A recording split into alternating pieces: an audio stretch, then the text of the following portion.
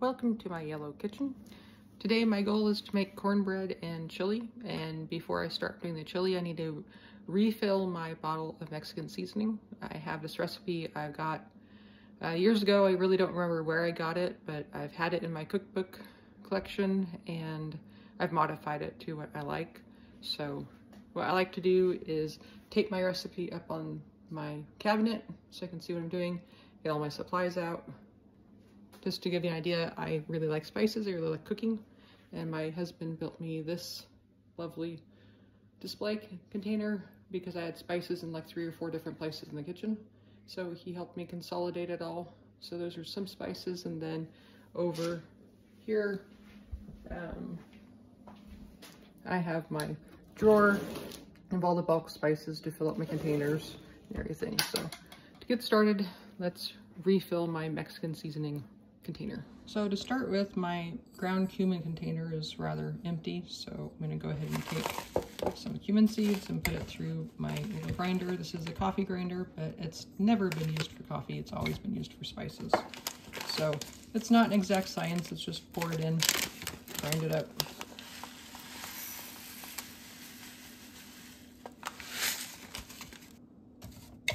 Here we go. Good not to do just long, long pulses on it or don't hold it down forever because you can actually burn your spices. You the oil and it can get too hot and it can be burned. So you can do a little bit, but just pulse it until you get to the texture that you like. And still a little bit coarse for me, so I'm gonna continue pulsing.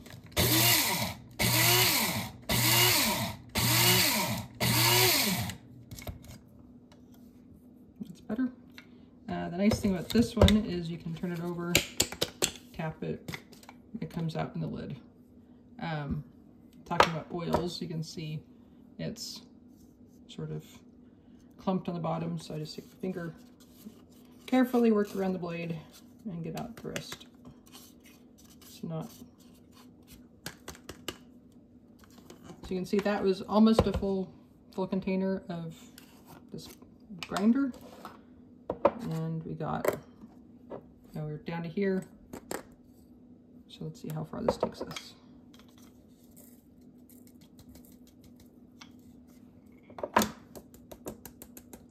This is going to take forever with this funnel. Let me get a different funnel.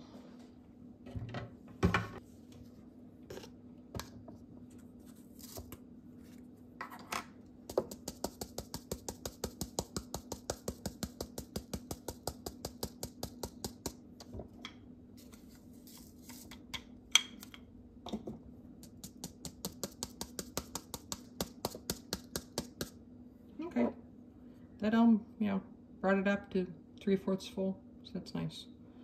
So on to actually making the spice blend. Let me put these things away.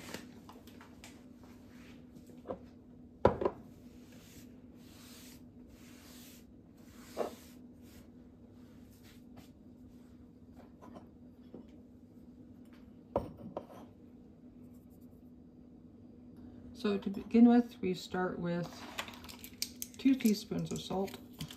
I like using Redmond's Real Salt because it has all the minerals, trace minerals that salt should have in it.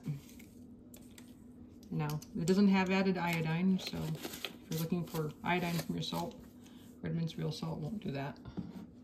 So two teaspoons and then two and a half teaspoons of ancho. I like anchovy because it's not spicy, but it adds, adds the peppery, smoky flavor to it.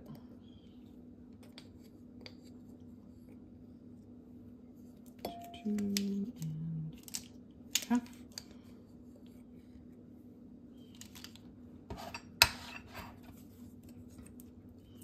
This is a half a tablespoon of black pepper. Um, I can do this or I can get my, my Pampered Chef sliding measuring spoon.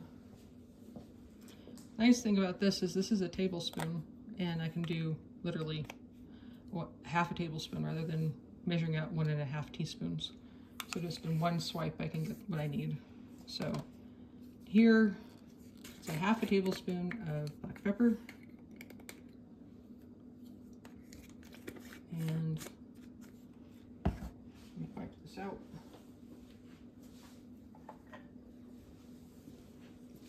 It was a little bit damp from being washed in the sink, so all the spices are sticking to it. So it's not going to fit. Half a tablespoon of the ground cumin we just did. And then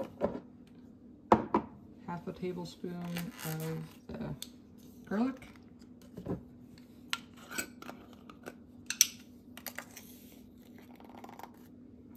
Always forget how much this makes, so I could double it and just do whole, whole tablespoons, but in the moment I'm not going to. So then a teaspoon of coriander, ground coriander.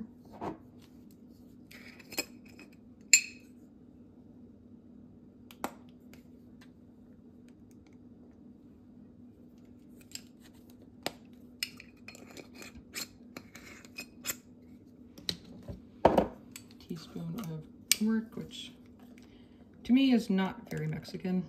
I think it's just for this coloring. Teaspoon of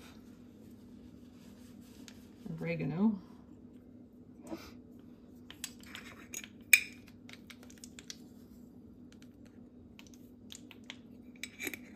An eighth of a teaspoon of smoked pepper. It's one of the things I added because I liked what it adds two things. Oop, that didn't work.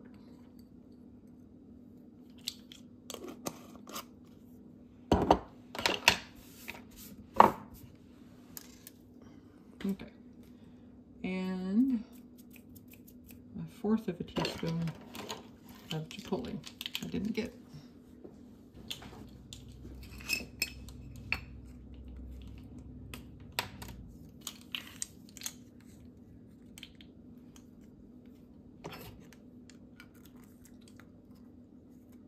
And that looks like all of it.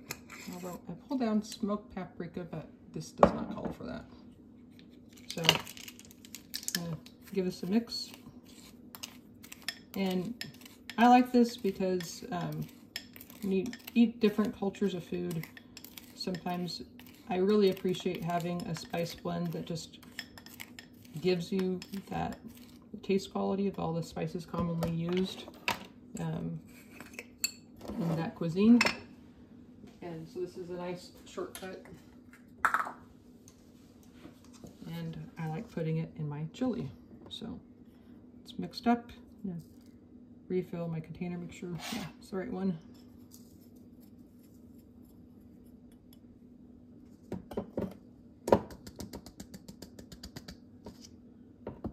And we're ready to go. So let me go ahead and clean up this area and then move over to where I'm gonna be making the chili. So for the chili recipe, this is one of the first recipes I learned how to cook for my mom was chili. And I know there's some pretty strong opinions about what chili is and what chili isn't. Um, and like most foods when you're growing up, you don't appreciate it until you're older and you go, well, I, I'm missing that chili from my childhood. So honestly, there's some measurements, but a lot of measurements aren't there. It's just a matter of muscle memory.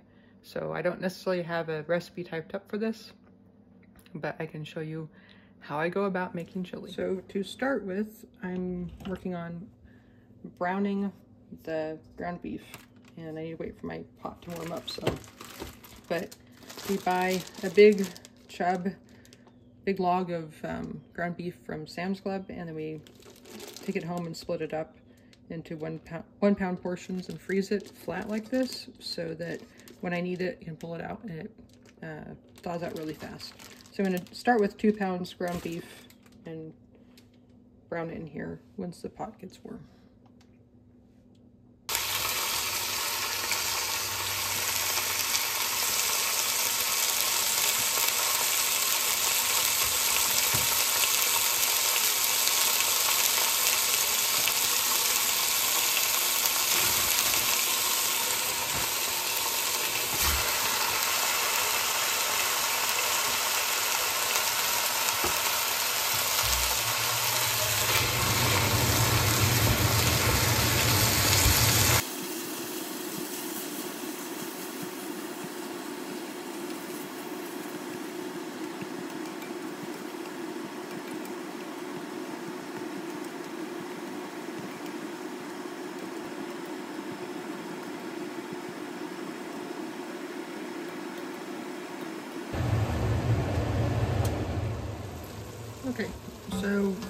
It's mostly ground. There's a little bit of pinkness, but because it's gonna be on the stove for a long time, I'm not worried about that. But I love this chopper. I got it for Christmas a couple Christmases ago.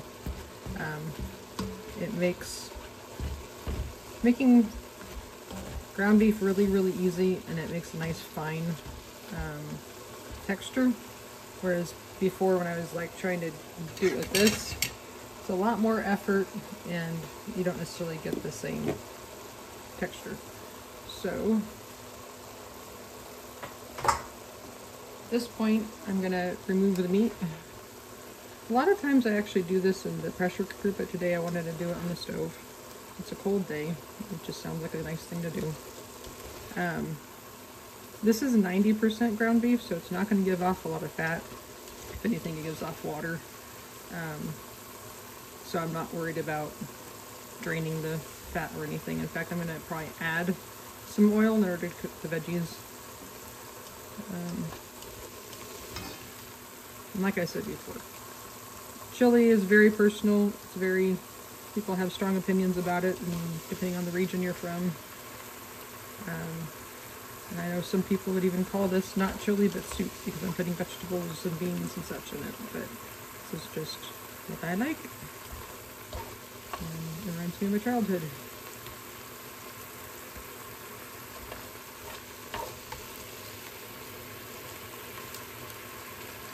turn down the heat in the stove a little bit.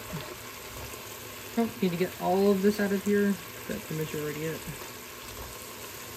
So I think that's good enough. So now we're gonna cook onion, celery, and green pepper. Um, this is one thing I like doing to, if I have any veggies that are going bad or I'm not getting through fast enough in my refrigerator, I will chop it up and put them in little Ziplocs with information on it. You know, this says one green bell pepper. Um, and then it's available to me and it saves me time when it comes to cooking the next meal. And then I have some fresh celery in my refrigerator, so add that in. And one trick with helping your vegetables brown and cook faster is to sprinkle a little salt in at this point and it helps draw out the moisture. Um, so I tend not to do a lot of seasoning during my cooking because, well, my mom had blood pressure issues, so we just grew up not necessarily seasoning food very much as we're cooking it. People just seasoned it at the table, and so that's just my habit. Um, so this is going to cook, and I want the um, onions to be more than just like translucent, like people say, cook it until it's clear or translucent or um, limp and that sort of thing. But I want it more than that because my husband prefers well-cooked onions if he's going to eat them at all. And this is the point where I get to choose whether I'm going to blend this because sometimes if you see vegetables in the food, then you might not want to eat it. Um, so that's just a way to get vegetables into our diet and get past the um, reservations people have about eating them. I will probably blend it so we don't have chunks of green things in our food. Um, and I might go ahead and blend the tomatoes too because I have a can over on the side here. I have a can of diced tomatoes, a can of tomato sauce, a can of kidney beans, and a can of black beans, and then a can of green chilies. Um, I think the chilies and the beans and the meat will be fine, but tomato is a vegetable, so it might get blended as well. So depending on, going to wait for this to cook. And once this gets close to the end of what I want it to be cooked as, then I'll add in the garlic. Don't want to do that too soon because garlic can easily burn. And I want it cooked but not burnt. So, and one tip about garlic I love buying these at the grocery store. They're little tucks of garlic. They can also do it in ginger and basil and I think something else, but the most commonly used in my kitchen is garlic and the ginger. So each of these are about a teaspoon or a clove. Um, so I have four of them sitting out thawing down. They actually thaw very fast. Um, I was actually introduced to that concept of making the pucks like that um, through learning how to cook some Indian food, like from India. Um, and that was one of the tips they had in the front is making a paste of ginger or garlic or whatever it may be and putting it in the freezer.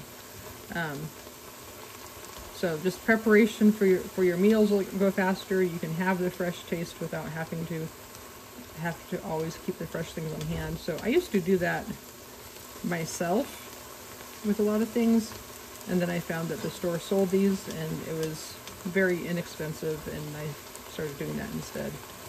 Um, but it seems like my Walmart's going to start stop carrying them because they, the longest time I couldn't find it, and when I did find it, it was like on clearance.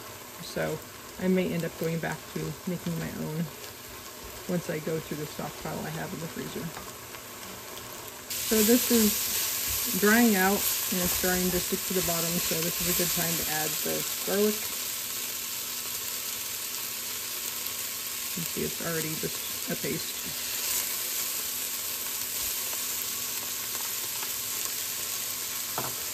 And because things are drying out, I think I'm going to add a little oil to keep things going.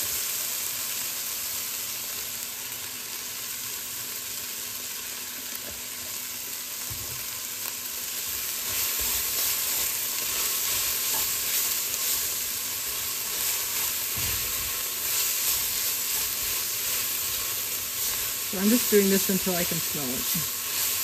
And it smells like garlic. At this point, I can add liquid. So actually, I'm going to do the chopped tomatoes so I can blend it.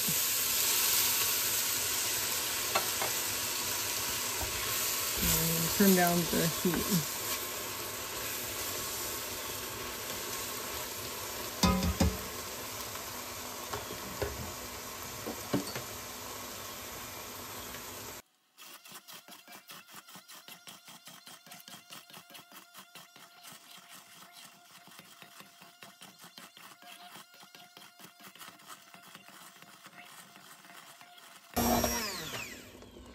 That's probably good enough. So now I can add the rest. Tomato sauce, beans,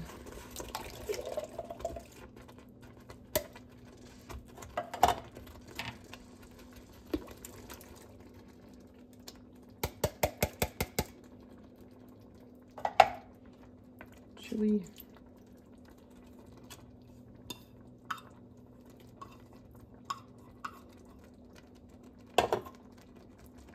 Meat.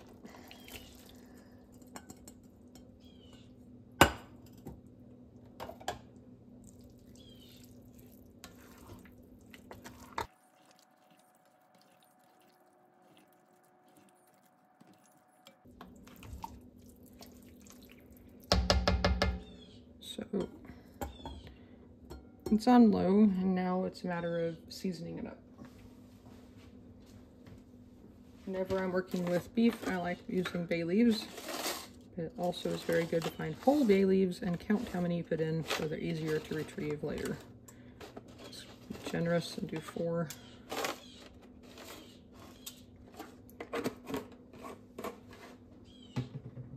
Also with working with beef, I like using Worcestershire sauce.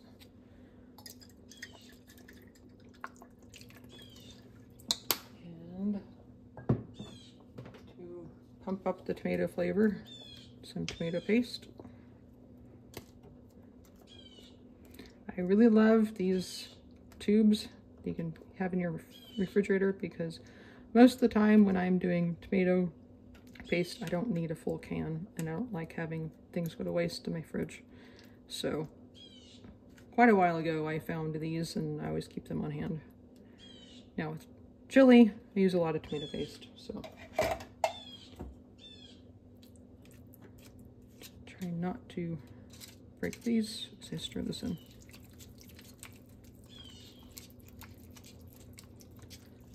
Then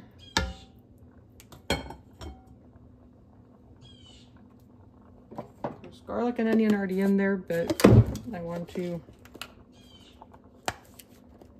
increase that flavor. So garlic powder, onion powder, just gives a different level of flavor to it. And we're going to be generous with the chili powder because this is chili. And this is um, my favorite chili powder. It's by Frontier Co-op. I actually buy a big bag and just refill this. A lot of chili peppers I've tasted are very one-dimensional, doesn't have a whole lot of flavor to it. Um, but that has a nice mix and actually tastes more than, just tastes better. Um, the Mexican seasoning we did earlier. And I like to pump up the anchovy flavor more smokiness without the heat. And then also emphasize the cumin. So, more cumin. And once this gets closer to done and has some time to cook and everything, I'll taste it again and see if I need to adjust the seasoning. So these seasonings will more than likely be left on the counter as this cooks. Um, in reality, you could eat this right now. Everything is cooked in it, but it won't have the same flavor as when it's allowed to cook for a while. Because, like, you won't have any of the bay, bay leaf flavor in it at all at this point. Um, so this is just going to be on a low heat in the stove, and I'll stir it every once in a while throughout the day. Um, and this is a beautiful cast iron pan that my family gave me for Christmas or for birthday, I think. Um, I love it. And I'll just sit there, turn down the heat, and clean up a little bit, and get ready to work on cornbread. So cornbread recipe today, I'm going to be trying out a new recipe for home milled corn cornbread. I'm new to using home milled flour, so all this is an experiment, and I'm hoping that it'll turn out to be a really good recipe that I can repeat. Um, I grew up on Marie Callender's um, cornbread recipe mix from this grocery store. Turns out to be like a pretty sweet corn cake almost. Um, so I do want some sweetness in this, but um, I've done home milled corn cornbread recipe once before and the texture came out really grainy and just wasn't really pleasant. I want it to be more cake-like. So uh, Let's try this recipe today. This recipe is from the website Breadtopia, um, so we'll give it a try. The first thing to do is to grind my corn and my soft white wheat. This is my mill, it's a Wonder Mill, uh, and the recipe calls for 150 grams of corn and 130 grams of wheat. They are very specific about which kinds they use, but I'm just gonna use what I have which is basically popcorn. And then uh, the wheat is gonna be a soft white wheat. So we'll see how this goes. With the Wonder Mill, you do want to turn it on first before putting anything in. Anything, anything in. Um, I have it set to the finest setting, but I've been told that the Wonder Mill doesn't really have a wide range of grinding settings, so it might not make any difference anyways.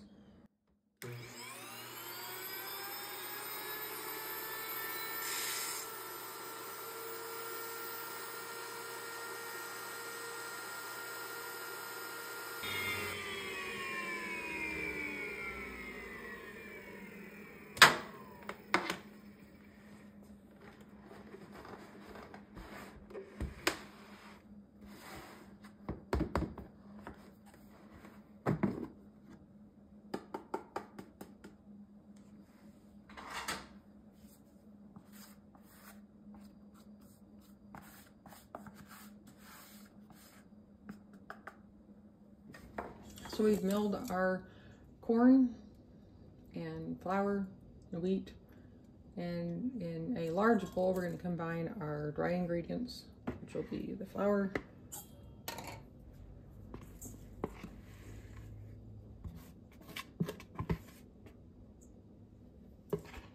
and our sugar which is two-thirds cup of sugar. Going to do salt just a teaspoon of salt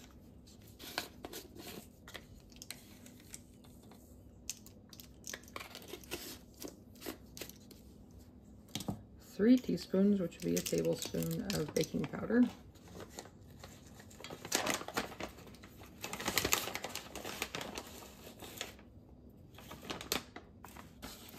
And we're going to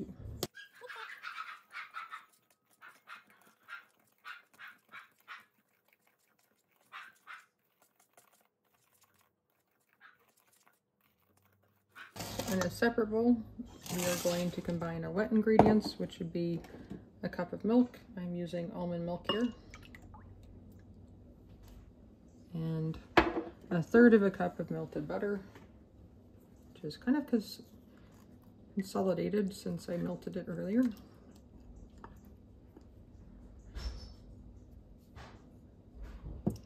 And one egg.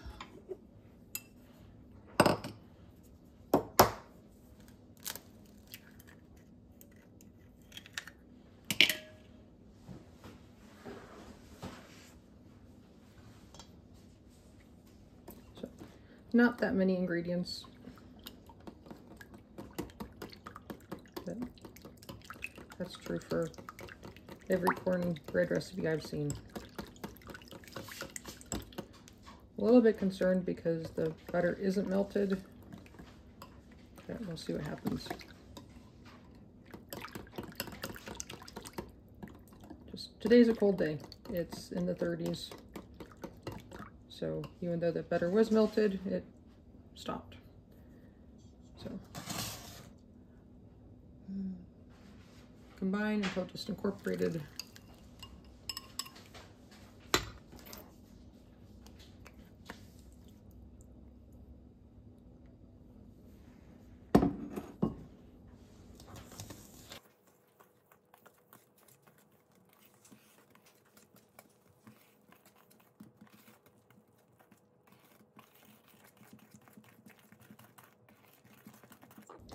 Pretty sure it's lumpy because of that butter.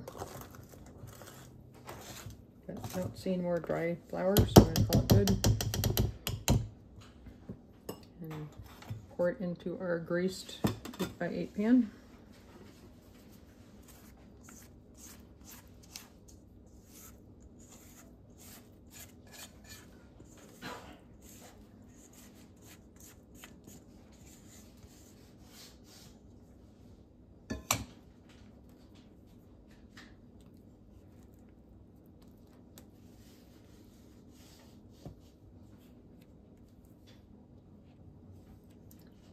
This is going into a preheated oven for 20 minutes or until the toothpick comes out clean. So the chili's been on for a while and I've been stirring it every occasionally. So I'm gonna go ahead and try to taste test it, see if I need to adjust the seasonings. It's three o'clock. We'll be eating it for a couple hours, so We'll just see how where we're at at this point. And the cornbread's in the oven. And it has about 11 minutes left before I test it. So let's cool this down.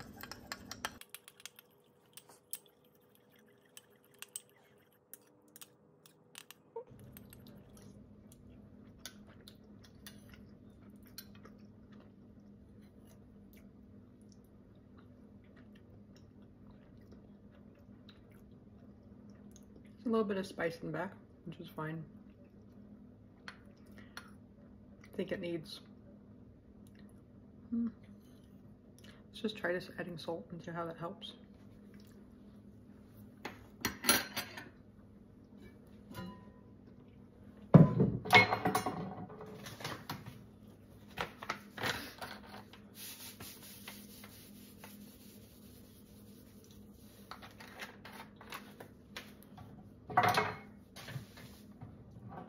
At the table, I like adding um,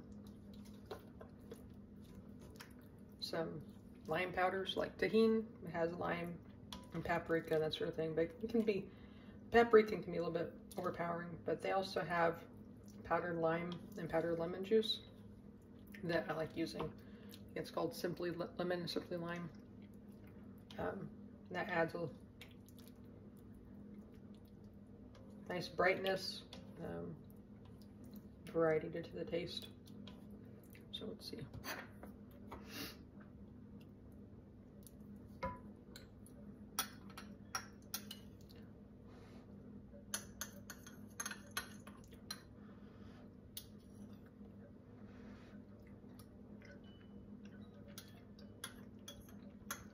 I think salt was all, was all it needed. Now it's even more spicy. So I think it's gonna be good. Just let it keep warm in the stove. It's basically ready to eat now, but we'll just have it here, making the house smell good and making us think of comforting foods on a cold day. Because like I said, it's in the 30s. It's raining on and off, kind of a rain snow mix. So it's a nice day to have this. This is what the chili turned out like. Like I said, it'll be keeping warm. And I'll change from a slotted spoon to an actual ladle when it comes time to eat. So it's time to check the cornbread.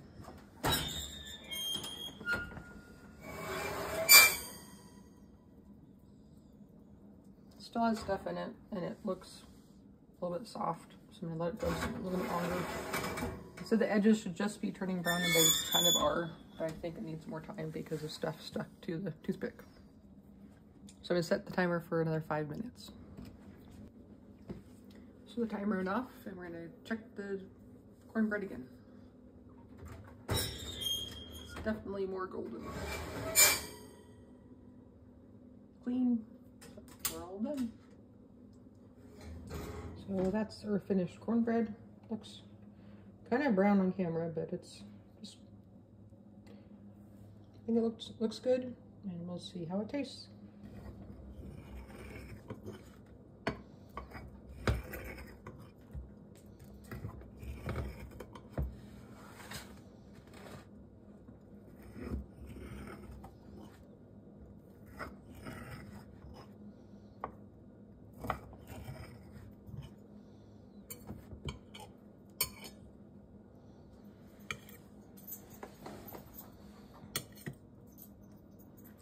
looks softer than the last one we made. Yes. Other was hard.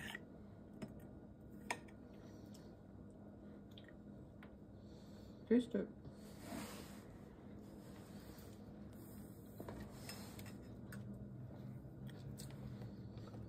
It's more tasty than the last one, isn't it? Mm-hmm. It's just as crumbly. Mm-hmm. So this is the next day. Um, we're having our chili and cornbread as leftovers. And once again, it's welcoming because it's been so cold. Um, turned out well. Very tasty meal. Very great for this time of the year. A good welcome in for the 1st of December. Yep. And I do think that the cornbread recipe is repeatable. Um, I think it's a little bit sweet, so I'll try reducing the sugar by you know, from two thirds to half a cup and see how it goes next time. But I hope this was helpful, or if nothing else, I kept you company. Have a good day.